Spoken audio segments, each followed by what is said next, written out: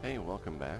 So I decided to make another video because I learned a really, really cool thing last night. Um, I was thinking about these doors that I demonstrated in a couple of the videos that I made. Um, this one here that's activated by a siren, where you use this NAND gate, the not AND gate, where if both of these sources, the generator and the siren, are powered, it will disconnect power to the door, which will shut the door, which is great if your settlement is being attacked. A settler comes up, they flip this on, it generates power, which breaks the logic of this circuit, and it shuts the power and keeps the uh, raiders on the outside, keeps the settlers on the inside, and everybody is safe. Uh, really cool setup, really simple. There's people that have got YouTube videos on it. So if you don't know how to do this, it's really easy. I kind of demonstrated it in the video I made for, um, what was it? Oh, the Taffington Boathouse and the other one, so, yeah. One of those ones I made yesterday. Not the big one about the, uh, about the Church of the Holy Living Tree, but the other one. I, I showed an example of this. Another example that I did in the Church of the Holy Living Tree video is this powered one here, where you've got this powered door and you've got an outside switch here and this panel here we're simulating is on an inside wall so you have an inside switch and an outside switch where you're using this XOR gate that will only transmit power if only one of these switches is on. So if both of them are on, doesn't meet the requirements, no power. If both of these are off, doesn't meet the requirements, no power. If one of these is on and the other is off, for example, if I'm outside my building and I want to get in, I flip that switch, one is on, one is off, meets requirements, door is powered and it opens. So let's say I enter the building, go to my inside switch, turn that, both of them now are both off, doesn't meet the logic requirements, door shuts. And so I want to go back outside, turn that on, again, one is on, one is off, and from the outside I can do that and shut the door again. Let's say I have another secret entrance. I go back inside. So I sneak back inside my building and I say, hey, I don't want to go back out the front door. Go to my inside. So I can do it any combination. It doesn't matter. As long as only one of these is lit, the door will open. So these are some really cool arrangements and they're fairly simple, fairly easy to make, and I'm sure there's lots of videos on YouTube of people that have done stuff like this and I was thinking about with you know with these powered doors and these logic circuits I was wondering if there was a way you could actually make like a, a lock, a combination lock. Now I did do a, well, after I came up with my plan and my design, I did do a Google search and a YouTube search to see if anybody had come up with a, a similar design or a similar idea and the only thing that was found was were some trials where people had used these counters to make a type of combination lock where you pulse power through these and the number of times you pulse power it counts. And it, it kind of works but it's really complicated and involves a lot of wiring. And if you screw up you know one little wire somewhere it's really hard to figure out which one you messed up because there's such a tangle of wires. It, it does work really well because you have to put the numbers in the right order and so that makes a really good combination. But again it's a major hassle really complicated and um, doesn't really look nice and neat. One of the things I'm going to try after I get done with this is to see if there's a way to do this neater and cleaner and nicer looking. But for now I'm going to show you my solution which is this. Obviously here we've got these switches that are uh, they have corresponding numbers to them for the combination. You've got the powered door, and you have this nice, clean arrangement where all the guts and everything is hidden behind this little room here. So let's see, does it work? Well, going to be making a video if it didn't work. So let's see. Let's say I want to try a combination of one, two, three. Nope, wrong combination, doesn't open the door. Okay, what if I want to do a combination of 1, 4, 6? Still doesn't work, doesn't open the door. Alright, now I'm getting frustrated, so I'm just going to turn everything on, see what that does.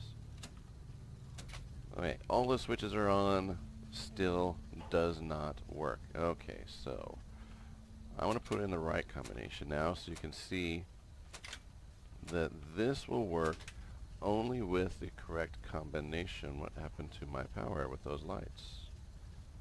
Oh, see that's one of the things I've been having a little bit of issue with is the the conduits with their radiant power things uh, they don't always really work very well and I'm having issues getting these to light and stay lit. Either way, okay, those are not important. What's important is these switches and the way they work. So if these kind of go on and off and in and out, uh, that's that's a minor technical glitch thing. That's that's not really terribly important. It's not going to stop this from functioning. It's just not going to make it look as nice and neat. So the real combination is going to be 1, 3, oh now look at them, and 6. So with 1, 3, and 6 lit and the other one's off, the door opens. So now I can go through and on the inside door I've got this terminal here. I access the terminal and turn all switches off. I reset everything and that closes the door. Not only does it but because I reset it yeah, it's got to have something to do with do with power to one of these switches. I'm not sure what the deal is. I'll have to figure that out later. Um, because I reset the, the switches, they're all back to the off position. So now nobody can come up later and say, oh, I can see which ones were lit, so now I know what the combination is. Nope. plug in the combination, go inside, go to the terminal, reset everything, and it relocks it all and resets it back to zero. So, pretty cool. At least it would be if I could get these stupid things to light up, but they're not. Alright. Anyway, I'll worry about that later. So, uh, yeah, so in this video, I'm going to be showing you how to arrange this, how to make this. Really, it's actually really simple. I mean, I'm sure some people are like, oh, that's so complicated. It's not. I figured it out in like 10, maybe 15 minutes, and I am not a programming computer engineer genius at all. So it, it just took a little bit of thinking, a little bit of common sense, and I'm sure you can do it too. Alright, so if you're ready, hang on and we'll get ready to go. Okay, so to get started, a couple first things first. Um, one, you really need to make sure you do some pre-planning. Know where you want things to be arranged because it's going to make a difference on how you set up your power and how you arrange the wiring. The, the way you move these walls and those sorts of things. So you, you kind of already have to have a plan in mind about how you want this to look, what direction the power is going to come from, where this number pad wall is supposed to be, those sorts of things. So I'm going to start with, I've already got my door. Once you know your door location, put your door in place and don't move it. Leave it there. You're not going to move it at all throughout this entire build. Okay? Um, the second thing is your power you need to know what direction your power is going to be coming from. And you really want it to come from behind the gate, the, the door here. I want to come from kind of like the inside. Now because I know I'm going to be using this box as like my circuit room with all the wiring and the circuitry and everything, I'm going to use this pass-through. And I want the terminal over here, so as I walk through the door, the terminal is right there for me to reset everything. So I want this facing where the terminal is going to be. So I put it here on the side facing out like this way. So I'm going to put the terminal in and I can go ahead and do that now. It's not going to be a big deal if I can remember where I find the terminal. Because, you know, there's so many things in here that doesn't always make sense. So I'm going to put the terminal there and I can go ahead and connect those two things. It's not a big deal. Connect. There you go. Connect. Okay. So I've, I've got the terminal and it's powered, it's blinking, connected to the pass-through, and here's my door. So this is the basic beginning setup. Oh, I don't want you here, you're going to be in the way. The other thing you want to have is your number pad wall. And the easiest thing to do is just have these regular plain switches and then some numbers attached to them. And I've used the neon ones. You can use, there's the stencils if you want to use the stencils, but they're kind of small to use and that sort of thing. It, this just looks really nice. So take a wall, put some switches on there, put some numbers beside them, and that's that. So now you've got your wall set up.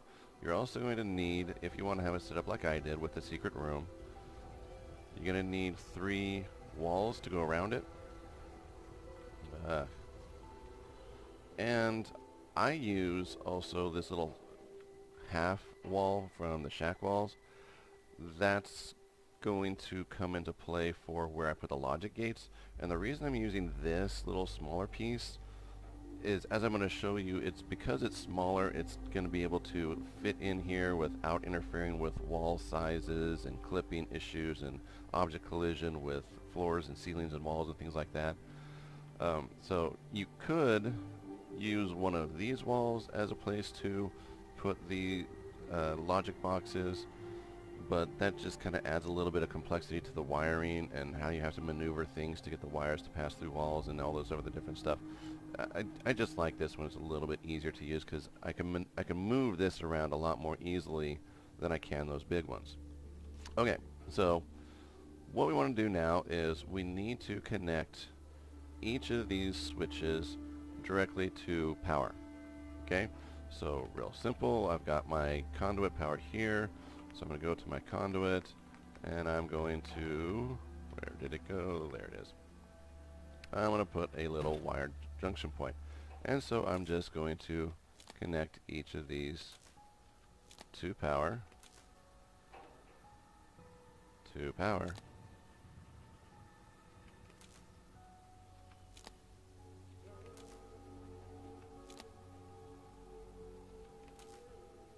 and there we go. So now all my switches are powered. You can see they've got the little red lights on, which means they're powered and in the off position. Now, the next part, I'm going to just go ahead and do this because I do want to have those neon lights lit up. So I'm going to put, I want to do that one. Menu. So I want to put one of these radiant things to radiate energy for those neons.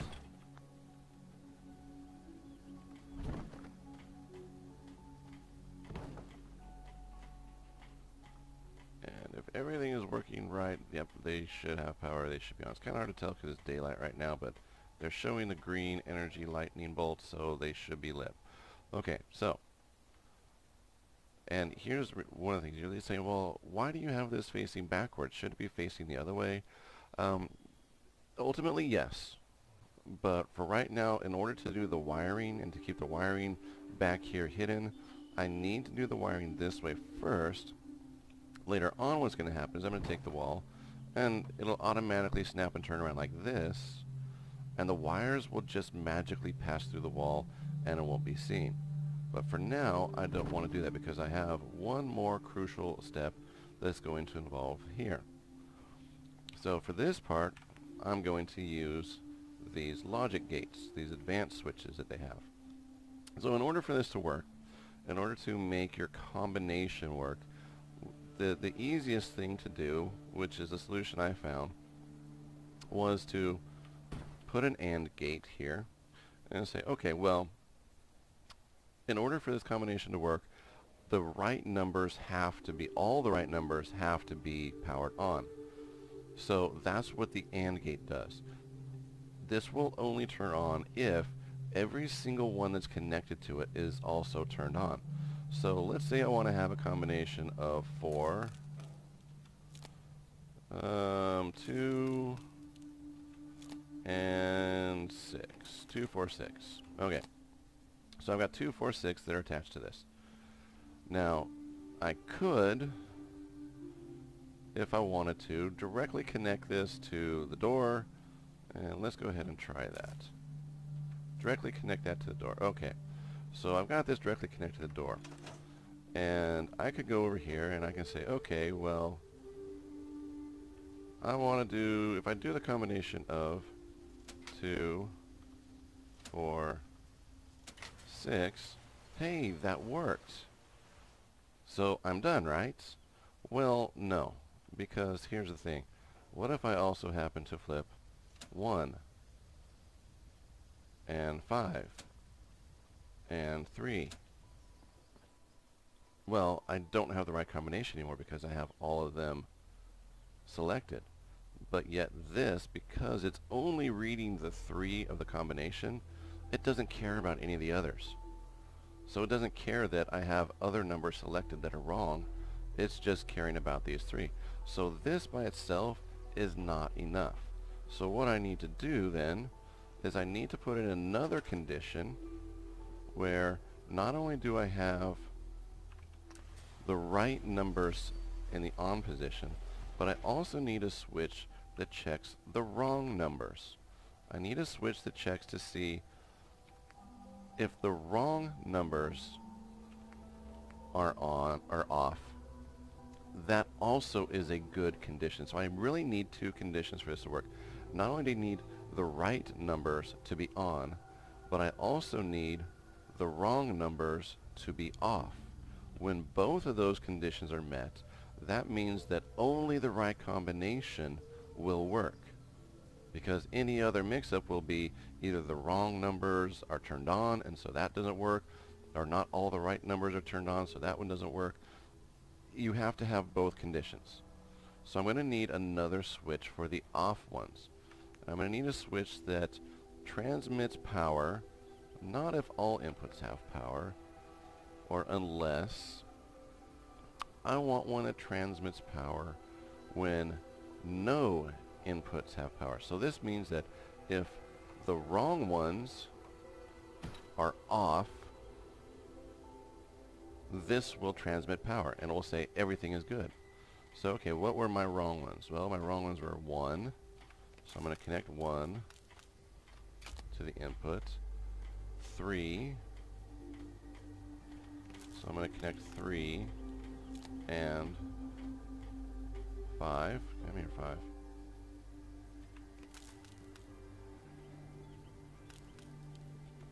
Okay, so I've got 1, 3, and 5 are now connected to the, these are the NOR logic. These are, if they're on, they're wrong. If they're off, then they're good. Okay, so let's test that. So I want 1 needs to be off, 5 needs to be off, and 3 needs to be off. And we can see that worked. The the three that are not part of the combination, when all three of those are off, that meets the right logic. This is now green, showing that it's going to have power. Okay, so now how do I connect it to the door? Do I just connect both of these directly? Well, no, because you, you have to have both of these at the same time working. So in order for us to do that, I'm going to need a third logic gate. And this is going to be another AND. So basically what I'm saying is, if the right numbers are on and the wrong numbers are off, then we will transmit power to the gate. So I'm going to need these three gates hooked up this way.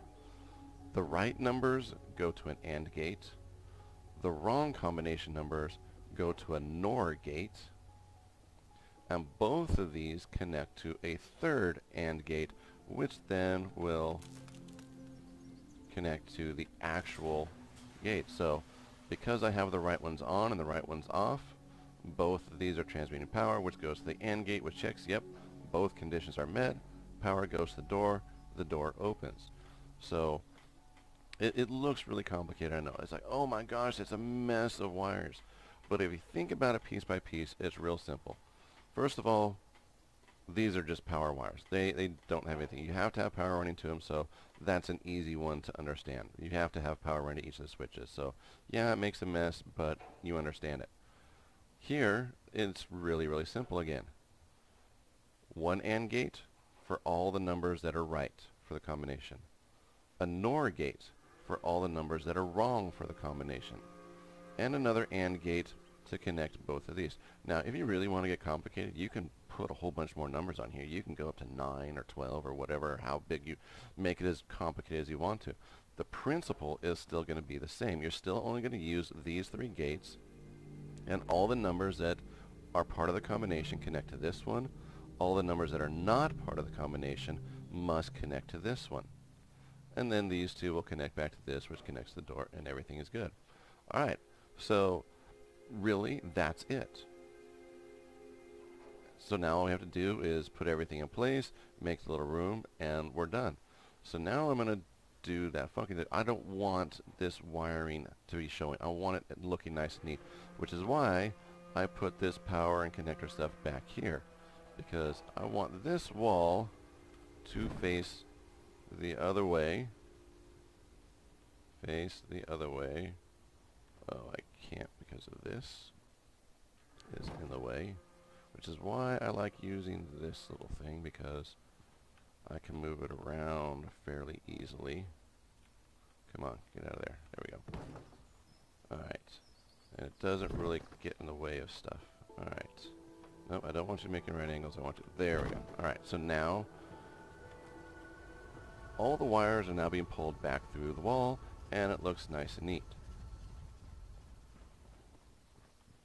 My little circuit board wall, I'm just going to stick you right here.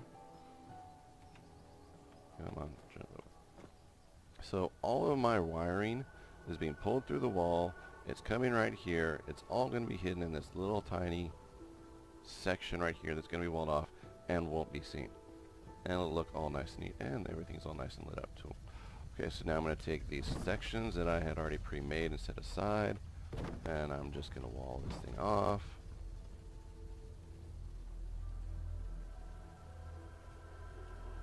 This one here is the hardest one because it wants to, you have to put it in just the right way. And if you don't, it doesn't like it. Alright, I'll put that there. I'm going to see what's wrong. You have to have to have something in the way that should work. Let me move this out a little bit more just to make sure it's not in the way. And it's a real finicky placement. Not sure why, but it is. You have to have it turned the right way, and...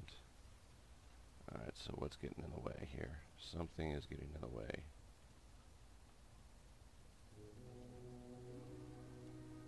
That didn't get in the way before.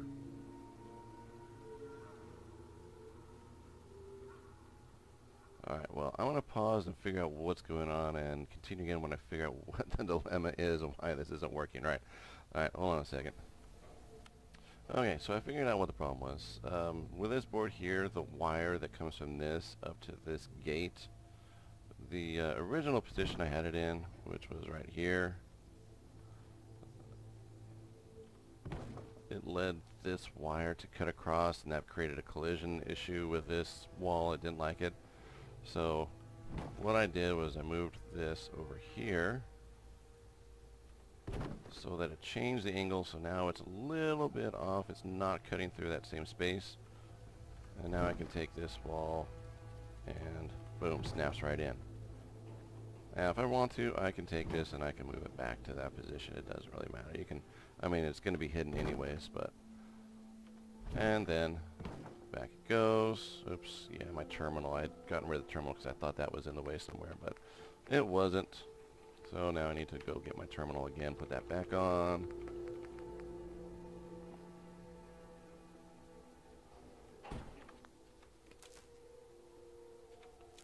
And there we go. Just like that. So if I go to my terminal, and I say terminal, switch control, turn all switches off.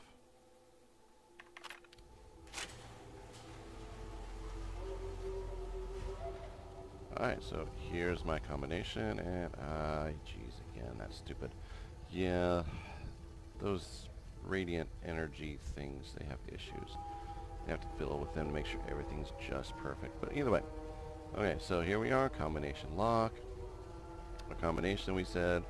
Well, again, let's try it. Just make sure. Let's do one, two, three. Nope, doesn't work. Let's try. Um, what was it? Let's do five, three, and one.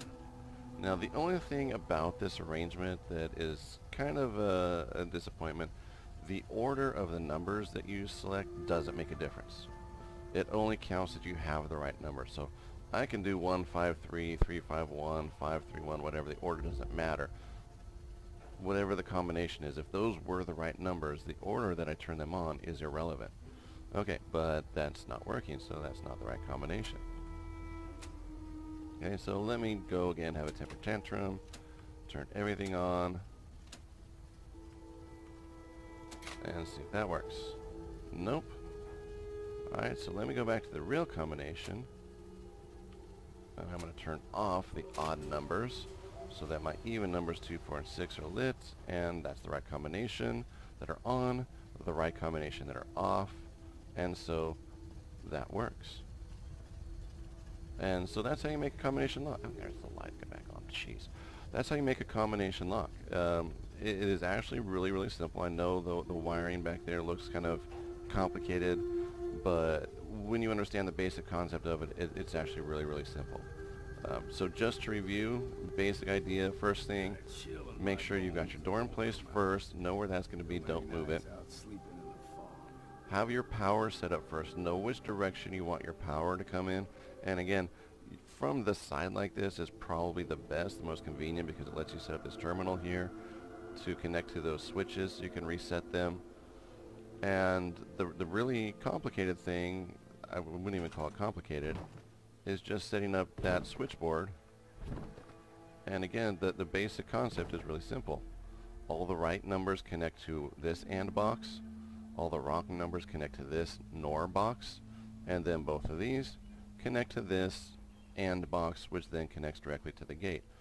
Uh, really, really, really simple once you understand that basic concept. So, yep, that's how you make a combination lock for a door, guys. I uh, hope you enjoy and have a good day.